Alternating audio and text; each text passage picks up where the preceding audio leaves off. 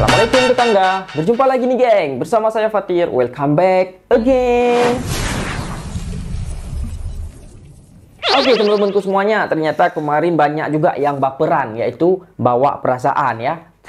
Dikarenakan saya kemarin pernah reaction tentang video yang negara kami yaitu di Indonesia membeli pesawat uh, tempur ya pesawat Hawk. Karena kan pertahanan Indonesia semakin tercanggih ya di dunia. Namun kali ini Malaysia lagi best geng. Nah, jadi korang jangan baperan geng. Kita akan adil ya di channel Fatih ini kita akan adil. Kita akan memuji semua perkembangan negara Indonesia, Malaysia, Singapura, Thailand, Laos, pokoknya semua-semua negara yang ada di Asia ini, geng. Kita doakan semoga negara yang ada di Asia ini maju semua bisa mengalahkan Eropa, geng ya. Oke, teman-teman, kita langsung aja bacakan tajuk hari ini adalah Tahniah Malaysia nyatakan minat beli senjata rampur pindad.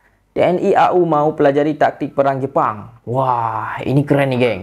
Waduh, Malaysia ini semakin mendunia, geng ya. Oke, teman-teman, sebelum kita putarkan cuplikan videonya bagi orang yang baru datang ke channel Fatih Tuber dan baru menemukan channel ini, tolong subscribe dulu, geng. Jangan pelit-pelit subscribe, karena subscribe itu percuma saja. Dan bagi teman-teman jangan lupa join juga di membership Fatih Youtuber geng ya. Dan mungkin bagi teman-teman semua yang mempunyai ide konten yang menarik di Malaysia, korang boleh, boleh hantarkan di Instagram saya geng. Nanti kita akan reaction sama-sama ya. Oke langsung aja kita putarkan cuplikan videonya. One, two, three, play.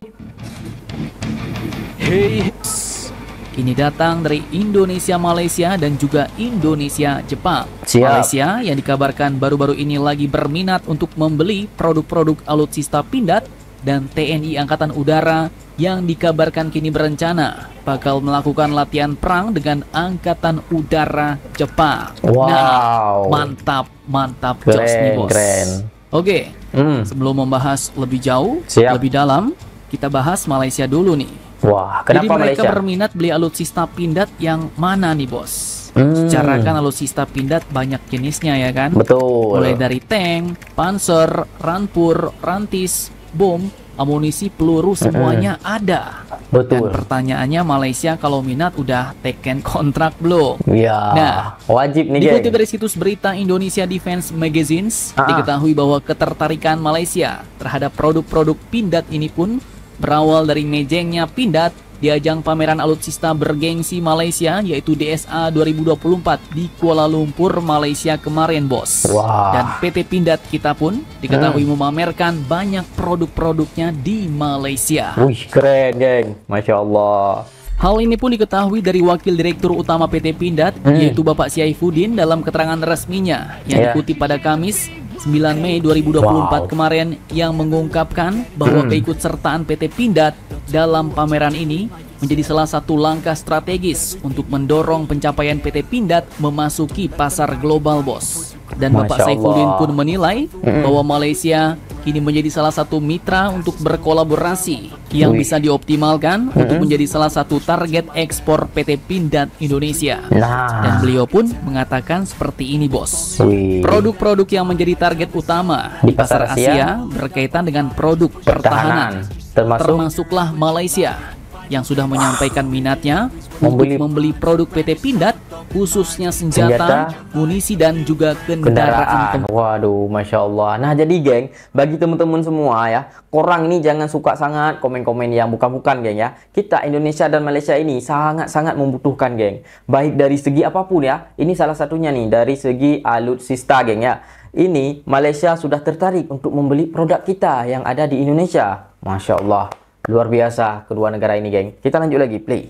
Wakil Direktur Utama PT Pindad ini yaitu Bapak Saifuddin. Mm-mm. Nah, jadi artinya setelah kemarin Malaysia berhasil teken MOU dengan PT PAL Indonesia Ya. untuk kerjasama pembuatan kapal dan transfer teknologi, Mm-mm. kini lagi-lagi Malaysia pun ternyata juga berminat untuk membeli senjata-senjata, amunisi dan rampur-rampur buatan PT Pindad Wow. Indonesia nih bos. Keren. Tahniah Malaysia. Tahniah Calon Malaysia. pelanggan lagi nih. Widih. Dan untungnya ya nggak ada kata-kata transfer teknologi ya kan.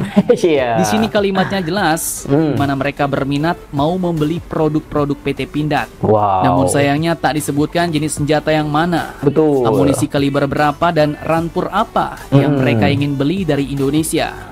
Wow. Tapi kalau untuk Rampur ya artinya pilihannya hanya ada Rampur Badak, Hmm. kemudian Panzer Cobra, Ya. Panzer Anwa dan juga tank medium Harimau, Bos. Waduh. Sedangkan untuk mobil maung, Ah. komodo, sanca itu termasuk rantis. Wih. Namun bisa juga ya kita artikan sebagai kendaraan tempur Hmm. karena memang sering dipakai untuk bertempur, Bos. Wow. Nah, jadi kira-kira Malaysia mau borong yang mana nih? Widih. Kita jamin ya kan bahwa produk-produk Indonesia semuanya terbuka untuk dibeli oleh Malaysia. Betul.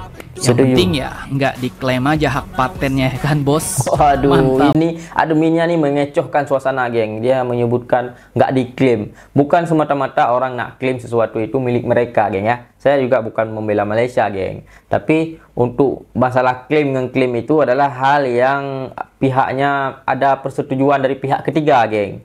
Waduh, tapi ini luar biasa kerjasama kali ini luar biasa. Saya juga salut karena Malaysia sudah ingin mengupgrade ya kualitas militernya. Kita doakan juga semoga militer yang ada di Malaysia ini lebih kuat lagi, geng. Karena kita mungkin zaman sekarang kita tengok tidak ada perang, tidak ada ribut-ribut kan. Tapi suatu negara itu juga membutuhkan pertahanan, geng. Karena suatu negara kalau tidak ada pertahanan itu wah, luar biasa kacau nantinya, geng ya. Kalau terjadi nauzubillah min zalik ya, kalau terjadi perang dunia ketiga, wah, itu bisa hancur semua, geng. Oke, kita lanjut lagi, play.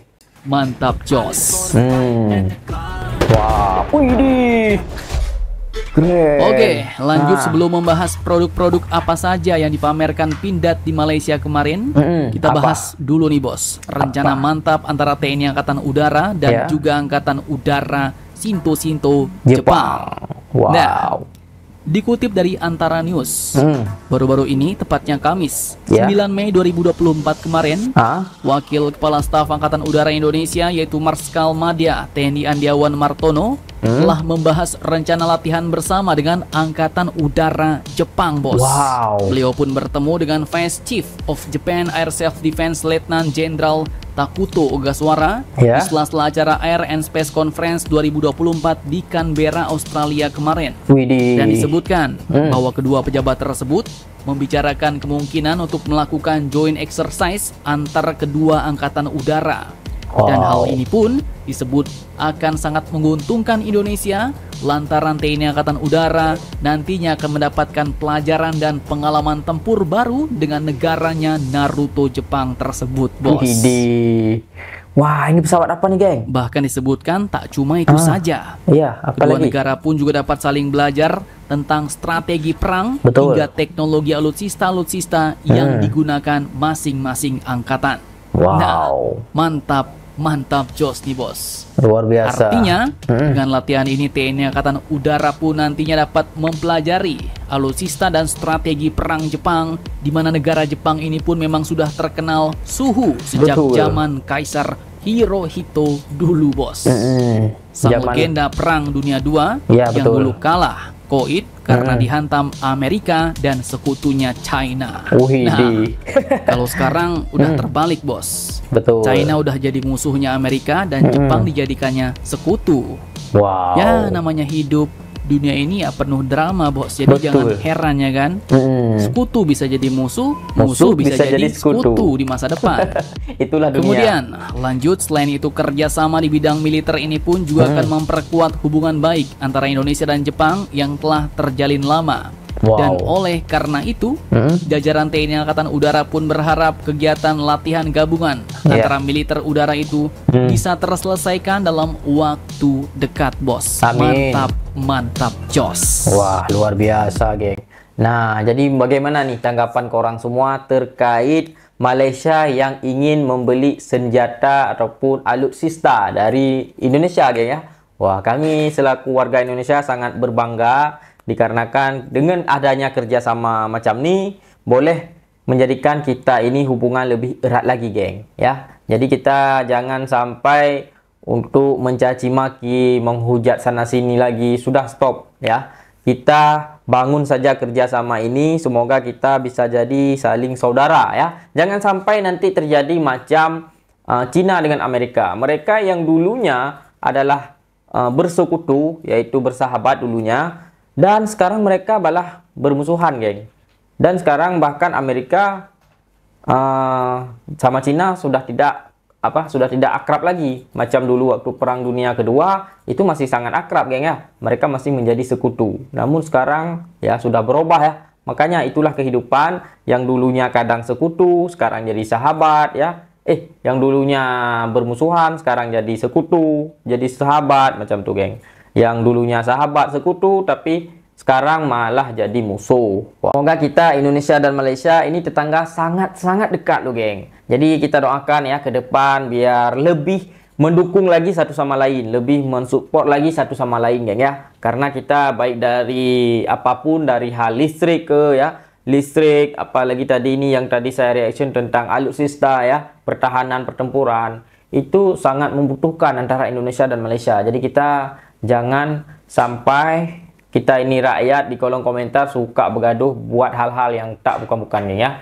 Kita dukung saja semua program pemerintah karena kita yakin program pemerintah itu pasti akan membuat negara kita ini maju ke depannya, geng. Oke, teman-teman, itu aja video hari ini. Semoga bermanfaat dan satu pesan saya buat teman-teman semua, habiskan jatah gagal kalian selagi kalian masih muda. Oke, Fatir. Bye.